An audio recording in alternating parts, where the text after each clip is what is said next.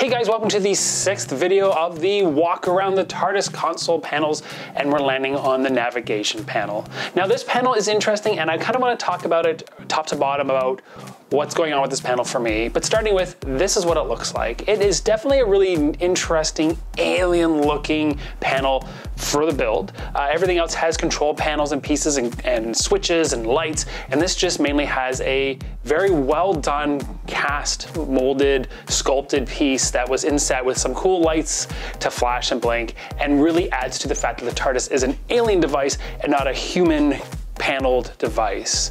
So obviously throughout the history of the show of having this particular console, you are left with the fact that uh, it wasn't really seen too much. Uh, most of the time, the companions would definitely use the other ones with the clicking and the switches and the, you know, pulling the levers, whereas this panel was I can only really recollect maybe one, maybe two times that it was really focused on being used. And because of that, I think it just kind of was one of those pieces that just kind of was there for set deck after a while.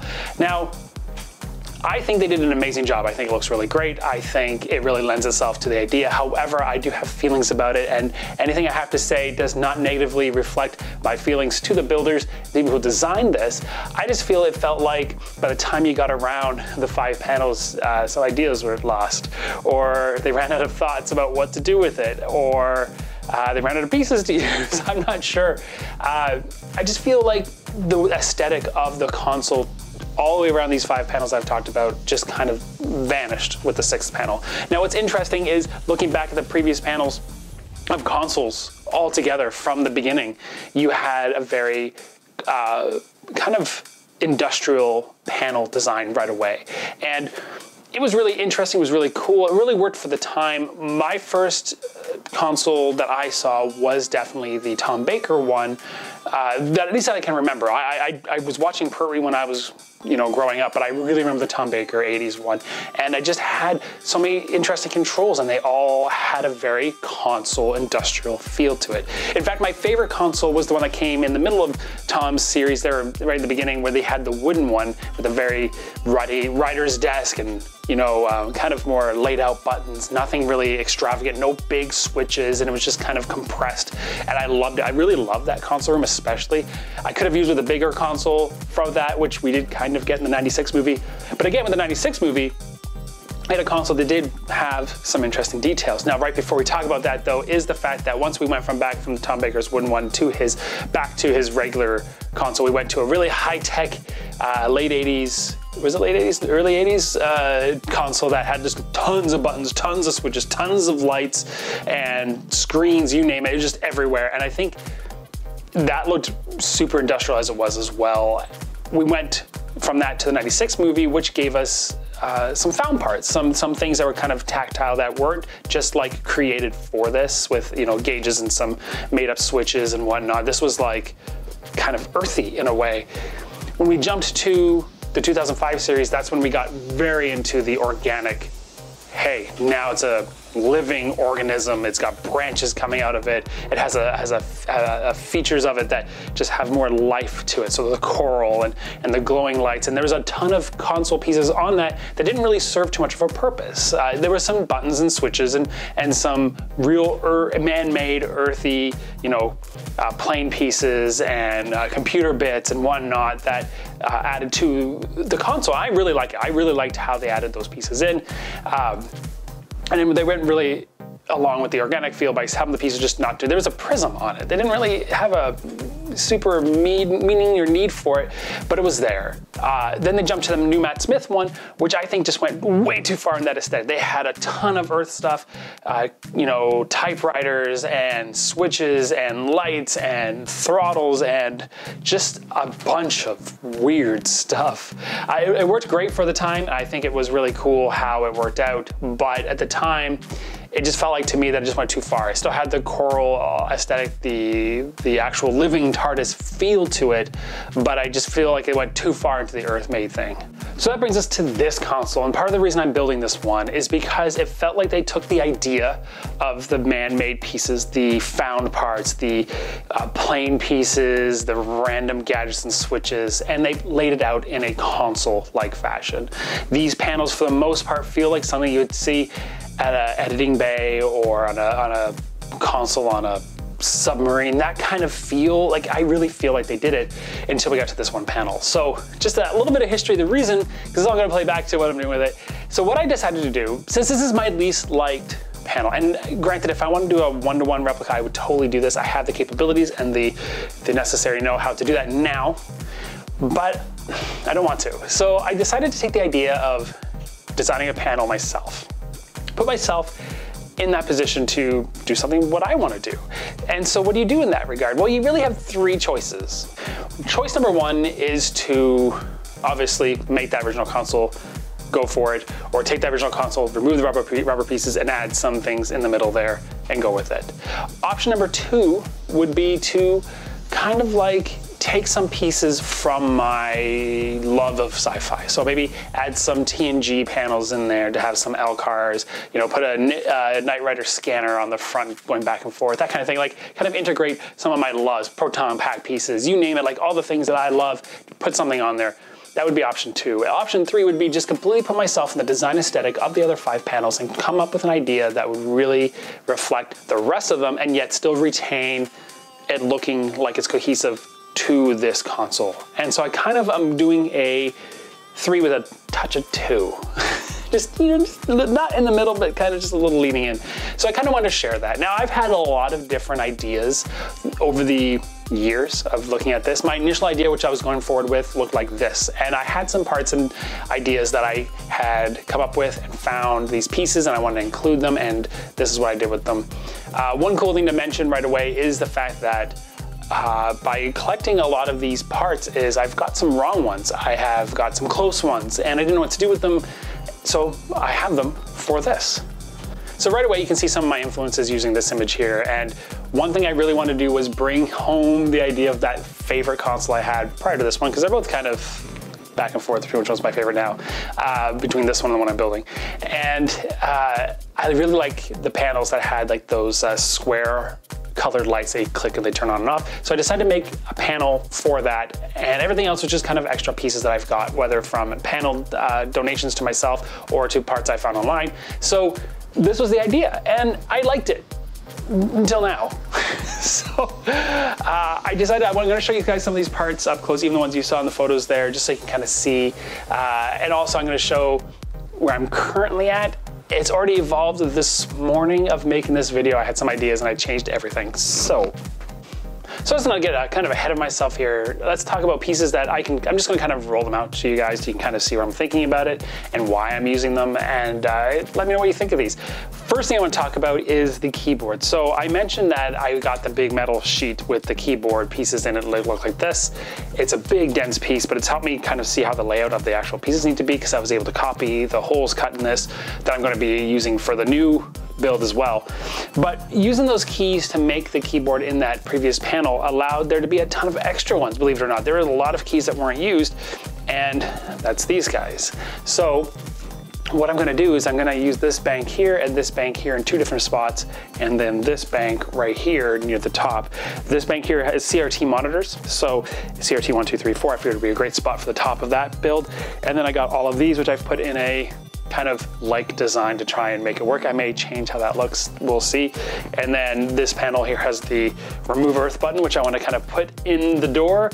So that panel that you see on the bottom right now is gonna have those buttons just like I wanted before, but I'm gonna have like a kind of a door, like a wooden desk door, just like that console. Hopefully it works out. If it doesn't, well, then I'll just leave it off. But I figured that'd be a fun thing to have in there, some function buttons and whatnot. But I just, I love the idea of using up these pieces, even though they're not used, I, I, can find use for them, and I think they look really cool. Plus, they have some really cool um, buttons to them, so let me know what you think of that. I'm really excited about these, to be honest. Next up is another found piece that I've had for a lot of years, and that is this guy, this joystick. I would like to find a spot for this, and I'm really thinking about doing that in there at a couple different spots. Uh, it's got a nice clicky motion to it. It's got this like sliding piece here. Um, has some oil still on it, but yeah, I just figured having some sort of joystick there would be kind of fun. I don't know if I like it or not. We'll see when I get to it uh, what I think of this because right in the middle, uh, regardless of how I do this, I am going to construct a couple pieces that are like the vintage ones, which you'll see in here because I have some knobs for it, of those vintage, you know, arched sliders, levers that they have on the old consoles. I'm going to integrate those into my own build. I also have a couple of these. Now, these came off of a panel that was donated to me and they are uh, phase current switches, and they just have like a, they, they fight you until you get to that switch. So I think they're just kind of fun. Um, I'm not 100% sure what they actually do, but I love the fact it's got this nice metal plate. It's used, it's old looking, and I got two of them so I can really kind of play off of them. What's really neat is both of them are just a little different in their typography and such, so I think they'll be kind of a fun thing to have on both sides if I decide to, or at very least just one. Speaking of random things, I have these, which you're gonna see obviously in my pictures there of my new layout.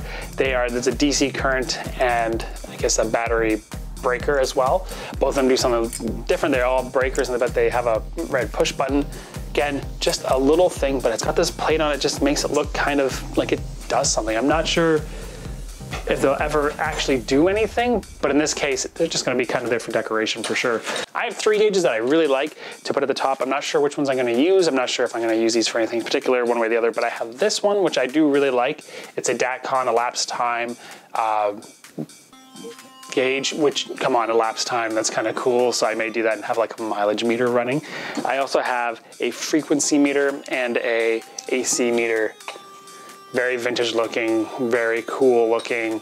Um, again, these might be things if I if I can't find a spot for on my build, I'm either going to use them for something else or I'll let them go uh, to anyone who's building something that they want something a little custom with because they're kind of cool. Here's my bag full of buttons, which basically just has a bunch of these color buttons. And I'm pretty stoked for these because they work. I don't know if they're the exact same ones that are used in the one and the original, but they look enough like it that the reference is there. And that is such a satisfying click. and I have the whole whole bank of colors. What's really fun is I actually found some gauges that looked a lot like the gal galvanometer on the other panel, and that's these guys. Now they're both different as well. One's a voltmeter and one's an amp meter, and I just think they're really neat and they match the other build ones, so the other panel ones, so putting them on there, I think will kind of make it, uh, you know, simpatico, is that the word I want to use? Simpatico with the other panel. Again, having these little elements like the keyboard pieces and these gauges and things just kind of relate to the panels, make it feel like it belongs. At least I, that's the hope and idea. Here is the switches I have that are gonna be the ones to be on the little lever slides. Again, they look very vintage. They're, they are, you know, they're bakelite switches, so hopefully that they fit really well. They have the same design as the originals, but also like my knobs on another panel. So again, given that kind of look, that kind of matches through, and I'm really happy with them, really. They're just kind of super simple and small. Now, I've mentioned them previously, I do have a bunch of these that I got from that panel uh, that was donated to me, so looks like I have five or so. So I may be including these in that, I'm not sure, but I think they'll be a nice little element just to throw in there because I think they're kind of cool. They have texture, they have life, they have longevity to them that I think, hey, why not put them in there? I have these switches. These switches are really fun. There's a bunch of different colors. Uh, they are a round click switch. They got a nice little satisfying little, these I hopefully will have light up when they're activated as they should be. And then they'll be underneath, according to my drawing here, these are the ones that'll be underneath the gauges. I think they'll be kind of cool. I think they're just you know, as you click across. I'm looking forward to doing that, click, click, click. That's gonna be my whole life for a while, just walking past this thing and clicking it. Some of the stuff I have is pretty random. I like, I do have like an anodized red thing that I am gonna try and include on there somehow. Uh, again, to reference the red anodized things that are all across. I also have a bunch of knobs. Now these knobs are really cool. They are made in the UK. They are simple potentiometer ones. That I got them in mistake for another panel and I think they're kind of cool. I may use these, I may not. We will see. Again, these will be available if they're not what I'm looking for. These knobs I got because they're just so cool. Uh, they have red on them, they have like a little arrow, they're just kind of neat. I have four of them with the idea that I could just use them for fun. So aside from switches and, and other things, uh, like I don't have everything I'm gonna put on this console. I've got some open space. My idea is that if I don't have something to fit there that I want, I'm going to create it. So like the levers, like the classic ones, I have been playing with the idea of having a made by myself, uh, like radar panel or navigational panel that I can get the chicken uh, switches and just kind of put them all on there and some other switches to make it look like a military uh, panel. Part of me wants to do that. The other part of me wants to actually just find something that will fit there because if I find something, then it's then it's got that feel of antique and used piece. So we'll see. I, am so, this is like gonna be the last panel I need to worry about because I'm gonna have some things in it that have to be there and some things I'm just gonna add as I go. Uh, just because it's gonna be fun, it's gonna be more interesting. Hey, I found this thing at a, at a yard sale or at an antique shop, let's put it on the console somewhere. So we will see what I do with that. Some of these pieces are for sure as they're going on there because they're just so dang cool, like the keyboard keys and using those to relate to the other panels.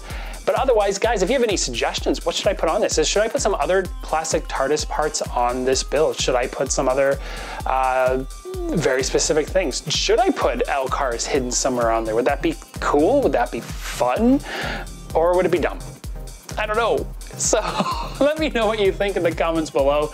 Uh, I, this is gonna be fun. This is gonna be a really fun panel to design and I'm happy to share as I come up with things. Next couple videos uh, next week, hopefully, uh, if my mail comes in like it should, uh, I will have updates of for you guys for parts I've discovered since we started doing these videos. So there'll be a few videos of that uh, before the weather gets nicer in Vancouver to get started on the build process itself. So guys, let me know down in the comments below what you think. What do you guys think of the navigational panel? I'm actually really interested to hear your thoughts on it.